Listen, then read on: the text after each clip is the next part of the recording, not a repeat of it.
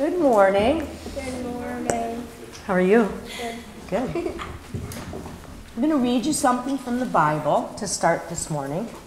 And this is taken from Joshua 24, verse 15.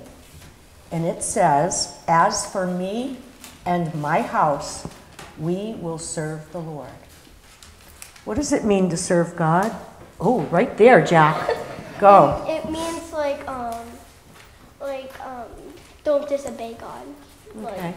How else can we serve God? Max? um How are we going? Okay, how are we going to serve God after church today? What are we trying to raise money from our bake sale for? um for you remember? kids for the presents for the presents for kids that um from um That are in the hospital? Yeah, the Barbara Bush Children's Hospital has a wish list every year. And these are things they really can't afford to buy, but they like to have things to give the children that are staying there. So, do you think this is a way that we're serving God? By what are we doing for the children? Are we helping them? Go ahead, Max. Are we going to help put a smile on their face when they're not feeling very well? I think we're serving God by helping others, helping other children that aren't as fortunate as we are.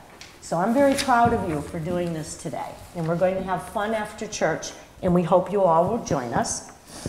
Now, I have another line that I like to read from the Bible to you.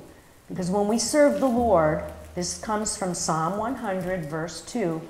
We serve the Lord with gladness. We're happy to serve God. And that should make us feel good when we help others, right? Okay, good.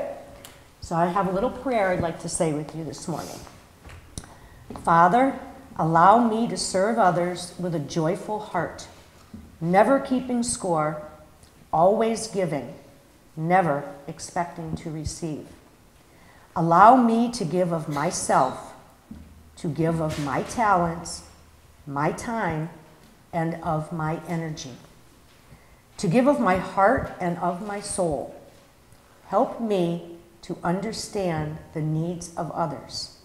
You have been so gracious to me, always loving, always forgiving.